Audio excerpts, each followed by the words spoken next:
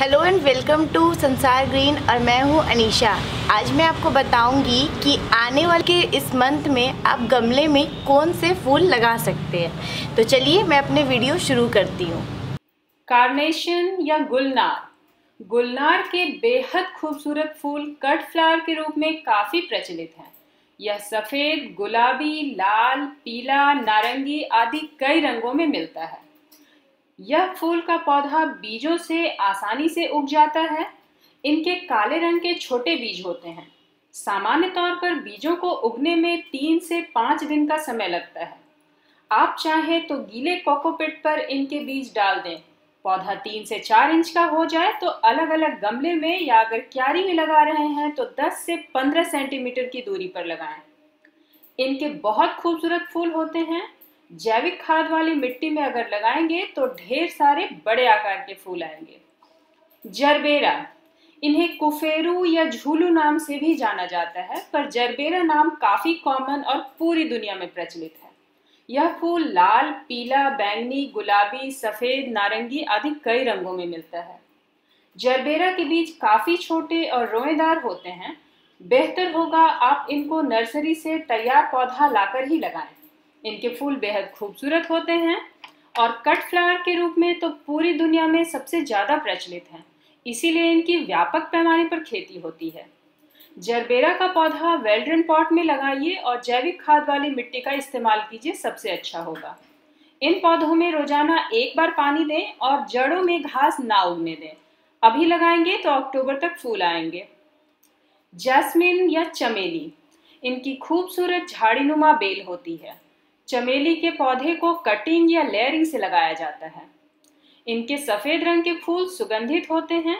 इनकी काफ़ी किस्में हैं। इंडोर या आउटडोर दोनों ही प्लांट के तौर पर आप लगा सकते हैं।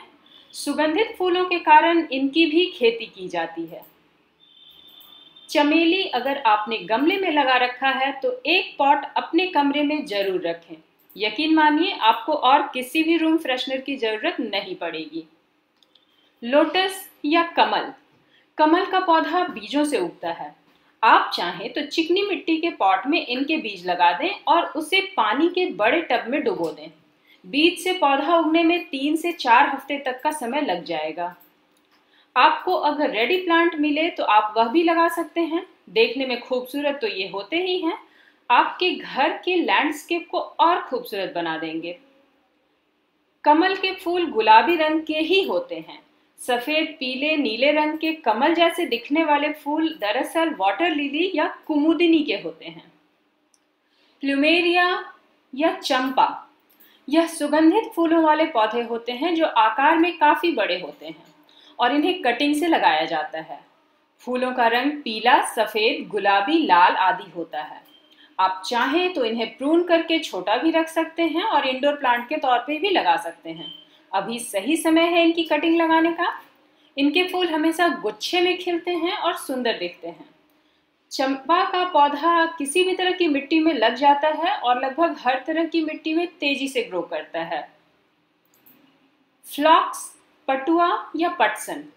इनके छोटे मगर ट्रम्पेट सेपेट फ्लावर क्लस्टर या गुच्छे में खिलते हैं। फूलों का रंग सफ़ेद, पीला, बैंगनी, लाल, गुलाबी आदि होता है। यह छोटे बीजों से उगता है। इसमें लगातार फूल खिलते हैं और खिलने के बाद काफ़ी दिनों तक रहते हैं। कुल मिलाकर काफ़ी खूबसूरत दिखते हैं। अगर गमले में आप लगाएँगे तो फूल ज़्यादा दिखेंगे।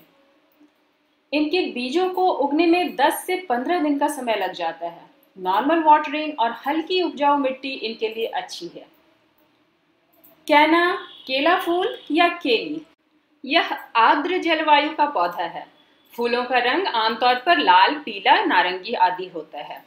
इनके पौधे रूट सकर्स से लगते हैं, यानी जड़ों से निकल आए छोटे पौधे से नए पौधे तैयार होते हैं। फूलों के खिलने के बाद फिर से जड़ों में ढेर सारे नए पौधे आ जाते हैं। रोज़ाना पानी इन पौधों की ज़रूरत है। यह पौधे तकरीबन तीन से चार फुट ऊंचाई के ही होते हैं, इसीलिए इन्हें आउटडोर के साथ साथ इंडोर प्लांट के तौर पर भी गमले में आप लगा सकते हैं। हिबिस्कस गुड़हल या अड़हुल। इन फूलों को चाइना रोज, मंदार, जावा कुसुम आदि नामों से भी जाना जाता है। फूल लगभग हर रंग में मिलते हैं। लाल, पीला, नारंगी, गुलाबी, सफ़ेद आदि इनके आम रंग हैं। वैसे इनमें कई बार बीज भी होते हैं, पर इनकी कटिंग ही लगाई जाती है। इनके पौधे में लगातार फूल आए, इसके लिए रेगुलर वाटरिंग कंपोस्ट वाली मिट्टी और धूप ज़रूरी है। मिलीबग से बचाने के लिए इनके पॉट में लहसुन की कुछ कलियाँ बो दें। पॉट को हमेशा ही वेल रखें। अन्य कीटों का प्रभाव होते ही तुरंत कीटनाशक प्रयोग करें। पोटेशियम वाली खाद इनके लिए बहुत फ़ायदेमंद है। अगस्त से अक्टूबर के महीने के बीच साल में एक बार इनकी छटाई, यानी कि प्रूनिंग ज़रूरी है। इंडिगो या नीला फूल। इन फूलों का बोटेनिकल नाम बैप्टीसिया ऑस्ट्रेलिस है। इन्हें वाइल्ड इंडिगो या फॉल्स इंडिगो भी कहते हैं। फूलों का रंग जी हाँ नाम के अनुसार नीला या इंडिगो ही होता है। पर यह वह पौधा नहीं है जिससे नील या इंडिगो मिलता है। इन्हें बीज या रूट सकर से लगाते हैं। यह वेल्ड्रन मिट्टी में लगाइए और पुअर क्वालिटी के सॉइल भी इनके लिए काफ़ी होते हैं। यह फैबेसी कुल का, यानी कि मटर के कुल का पौधा है। इनको लगाने से मिट्टी में नाइट्रोजन की मात्रा बढ़ती है और मिट्टी उपजाऊ हो जाती है। फूल लंबी डंडियों पर स्पाइक्स में ढेर सारे खिलते हैं। इन पौधों को ट्रांसप्लांटेशन पसंद नहीं है। इनकी जड़ें 12 फुट गहरे तक जा सकती हैं और एक फुल्ली मैच्योर प्लांट पर सैकड़ों फ्लावर्स स्पाइक या डंडियाँ आती हैं। इन्हें रेगुलर वाटरिंग और धूप ज़रूरी है। प्रूनिंग की इन्हें ज़रूरत नहीं है। रोज़ या गुलाब। बहुत सारे रंग और वैरायटीज इन फूलों की उपलब्ध हैं। फूल लाल, पीले, हरे, बैंगनी, काले, सफ़ेद लगभग हर रंग में मिलते हैं। भारत में या यूँ कहें कि भारतीय उपमहाद्वीप में हर जगह ये आसानी से लगाए जाते हैं और प्रचलित भी हैं। गुलाब के लिए रिच ऑर्गेनिक खाद वाली मिट्टी चाहिए पॉट वेल ड्रेन होना चाहिए और रोज़ाना पौधे को धूप भी मिलनी ज़रूरी है। इन पौधों को महीने में एक बार रासायनिक या जैविक खाद भी ज़रूरी है। वैसे तो इन्हें कटिंग सीड या ग्राफ्टिंग तीनों ही तरीके से लगाया जाता है, पर ग्राफ्टेड गुलाब बेस्ट होते हैं। सेकेंड ऑप्शन आप कटिंग का चुन सकते हैं, क्योंकि बीज से उगाए गए गुलाब के पौधे में गुणवत्ता नहीं होती। कैसी लगी आपको हमारी वीडियो? हमें कमेंट करके ज़रूर बताइए। हमारी वीडियो को लाइक एंड शेयर करना मत भूलिए। और हाँ जुड़े रहिए हमारे साथ, क्योंकि हम देंगे आपको हर महीने लगाए जाने वाले फूलों की अग्रिम लिस्ट वीडियो अलर्ट्स के लिए बेल आइकन भी दबा लीजिए। सुइया फूल, इनका बोटेनिकल नाम कुआमोक्लेट पिनाटा है। बेसिकली ये एक तरह की लता है और ये काले बीजों से उगाए जाते हैं। यह बहुत तेज़ी से बढ़ने वाली लता है। जिसमें लाल या गुलाबी रंग के छोटे मगर बेहद खूबसूरत फूल खिलते हैं। रोज़ाना इनमें नए फूल आते हैं। फूलों के अलावा इनकी पत्तियाँ भी काफ़ी शानदार दिखती हैं। फूल तकरीबन ढाई से तीन सेंटीमीटर लंबे होते हैं। इन्हें बरसात में आउटडोर लगाइए। कंपोस्ट वाली मिट्टी में लगाएँगे तो ज़्यादा बेहतर होगा। बिना ज़्यादा कुछ किए अगले दो तीन महीने तक इनमें ढेरों फूल आते रहेंगे। गुल मेहंदी या बालसम इन्हें चीरा मीरा भी कहा जाता है और ये बीजों से बड़ी आसानी से उगेंगे। आप इनके बीज अभी लगा दें। बालसम के पौधे मध्यम आकार के होते हैं। फूल बहुत सारे रंगों में आपको मिल जाएँगे। लाल, गुलाबी, सफ़ेद, नारंगी, बैंगनी, नीला, लगभग हर रंग के इनके फूल होते हैं और रोज़ाना ढेरों फूल खिलते हैं। फूल सिंगल लेयर्ड और डबल लेयर्ड में भी होते हैं। आप इन्हें भी आउटडोर ही लगाइए। बीजों को उगने में छः से आठ दिन का समय लगेगा। ये हर तरह की मिट्टी में लग जाएँगे।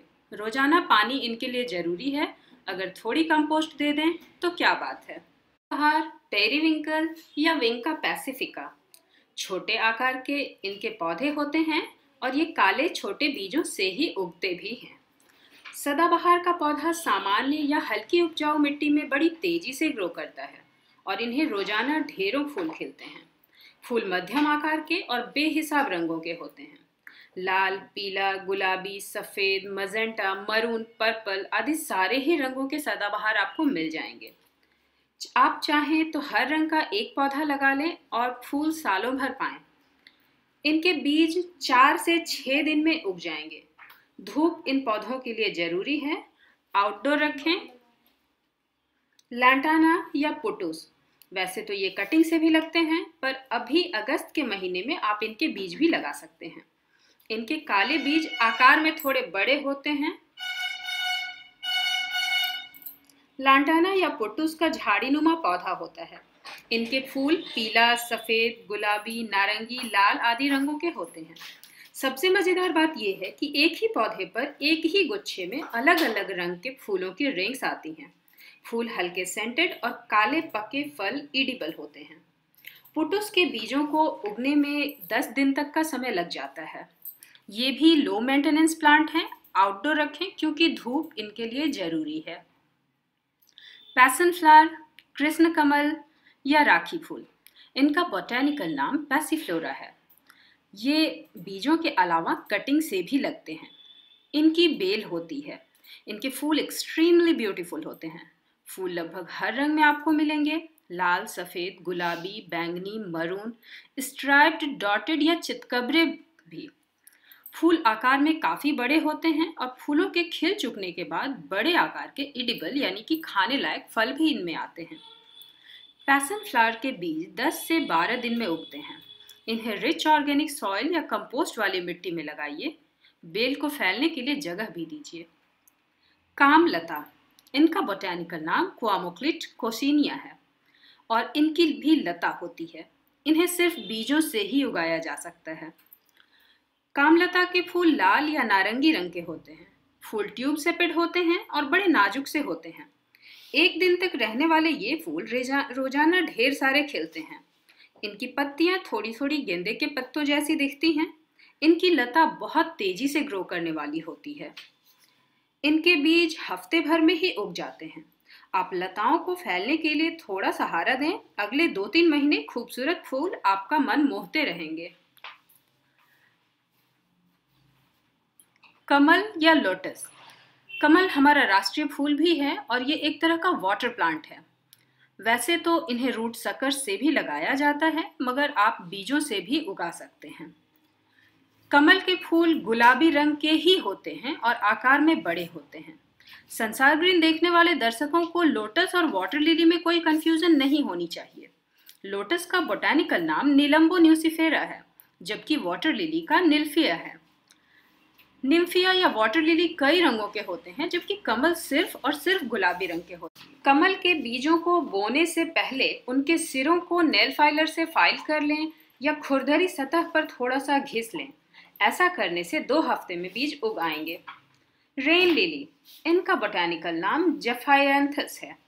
ये सागकुल का पौधा है, जिसकी लहसुन जैसी कंद भी होती है। इन्हें कंद से या फिर बीजों से दोनों ही तरीके से लगा सकते हैं। इनके फूल लाल, गुलाबी, पीला, सफ़ेद आदि रंगों के होते हैं। फूल सिर्फ़ एक दिन ही रहते हैं, मगर रोज़ाना ढेरों फूल इनमें खिलते हैं। बहुत ही अट्रैक्टिव फूल हैं। इनमें लगातार पानी मिले तो इनकी ब्लूमिंग अच्छी होती है। रेन लिली के काले चपटे बीज हफ़्ते भर में ही उग जाते हैं। बीजों को कैरी करना और स्टोर करना दोनों ही आसान है। फ्लॉक्स या पटुआ। इन्हें बोटानिकल नाम इनका फ्लॉक्स डुमोंडी है। खूबसूरत फूलों के इन पौधे को बीज से ही उगाना पड़ता है। फ्लॉक्स के ट्रम्पेट सेपेट छोटे फूल गुच्छों में खिलते हैं। फूलों का रंग पीला, सफ़ेद, गुलाबी, लाल, बैंगनी आदि होता है। ये फूल काफ़ी लॉन्ग लास्टिंग होते हैं और इतने फूल खिलते हैं कि पौधा नहीं, सिर्फ़ फूल नज़र आते हैं। इन्हें रिच ऑर्गेनिक सॉइल में लगाइए पॉट को वेल ड्रेन रखिए और धूप इनके लिए ज़रूरी है। बीज 10 से 12 दिन में उग जाएँगे। नेस्ट्रियम या देसी क्रेस इनका बोटेनिकल नाम ट्रोपेयोयम है और इन्हें इंडियन क्रेस कहा जाता है। साग सागफुल का पौधा है जो बीजों से ही उगता है। इनमें फूल चटक पीले, लाल या नारंगी रंग के आते हैं। यह एक तरह का इडिबल प्लांट है, जिसका हर हिस्सा खाया जाता है। सलाद के तौर पर कच्चा या फिर पका के भी इन्हें खाते हैं।